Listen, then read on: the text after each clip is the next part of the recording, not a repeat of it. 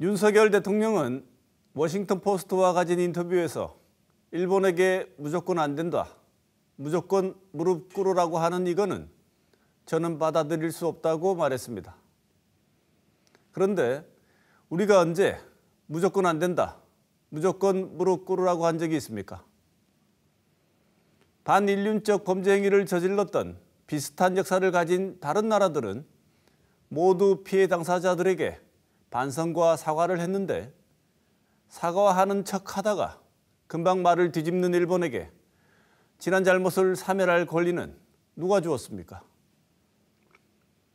발언의 취지를 보아야 한다. 주어가 없다는 등 이 보도를 해명하는 여당과 대통령실은 무력감과 무능함을 전시하고 있는 것 같습니다. 이 해명이 국민들에게 수용될 것이라고 생각했다면 대통령실은 우리 국민을 도대체 어떻게 보고 있다는 말입니까? 통치자가 국민이 아닌 역사와 대화를 시도하게 되면 그 국민은 불행해진다는 말이 있습니다. 민주공화국의 대통령은 그와 같은 통치자의 모습보다 대화와 타협에 기초한 조정자가 되어야 합니다. 본인의 생각을 해외 언론을 통해 선포하는 통치자가 아니라 조종자로서 대통령이 대화할 상대는 우리 국민임을 잊지 말길 바랍니다.